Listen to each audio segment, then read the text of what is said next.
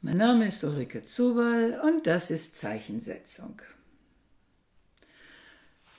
Vor fast einem Jahr habe ich mit diesem Literaturkanal begonnen und ich habe in diesen zehn Monaten 41 Videos vorbereitet, produziert und veröffentlicht.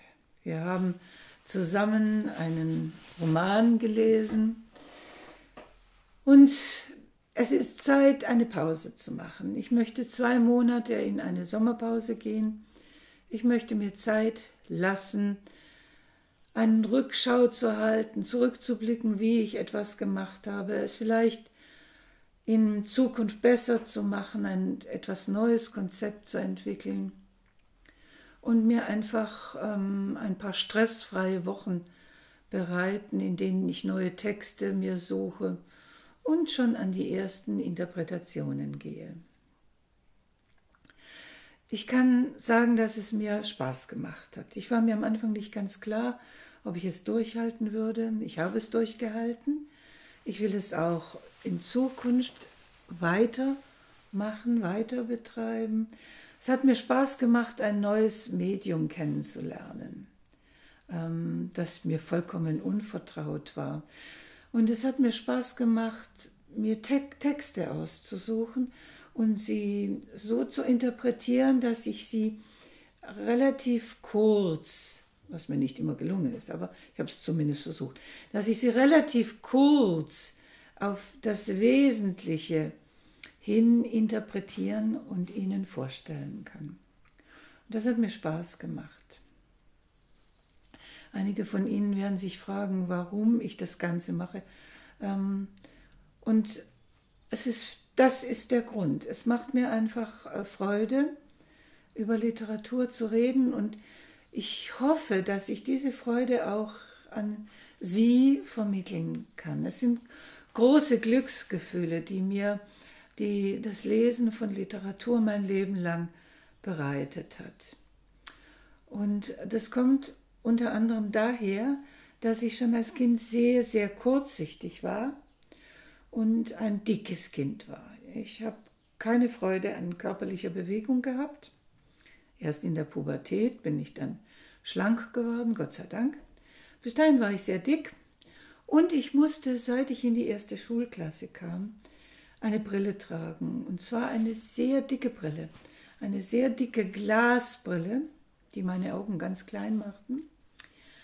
Und ich sah nicht besonders, war eine Brillenschlange, wie man es damals genannt hat. Und dieser Nachteil hatte aber einen ganz, ganz großen Vorteil. Ich konnte nämlich ähm, mir ein Buch nehmen und habe dann die Brille abgesetzt und konnte dann das Buch ganz nah an meine Augen führen. Ich musste es ganz nah an meine Augen führen, um die Buchstaben lesen zu können. Und das hat bedeutet, dass mich dieses Buch abgeschirmt hat von der Welt. Ich konnte ganz in das Buch hinein versinken, habe alles vergessen, mich, die Welt, und konnte mich auseinandersetzen mit dem, was da irgendjemand geschrieben hat, mit der Botschaft, die da irgendjemand für mich geschrieben hat. Und es waren immer geheime Botschaften, die ich entschlüsseln wollte. Das ist das Schöne, wenn man einen Text interpretiert. Man genießt ihn nicht nur einfach, man liest ihn nicht nur einfach durch, sondern bei guten Te Texten setzt man sich damit auseinander. Man erobert ihn sich für sich ganz subjektiv. Man erfindet seine eigene Botschaft, eine geheime Botschaft, die aber doch eben im Text begründet liegt. Und diese Freude äh, und diese Freude, die ein, ja, diese Neugier auf diese geheimen Botschaften, die hat mich mein ganzes Leben lang äh, für Literatur begeistert gemacht. Und diese Freude möchte ich auch vermitteln.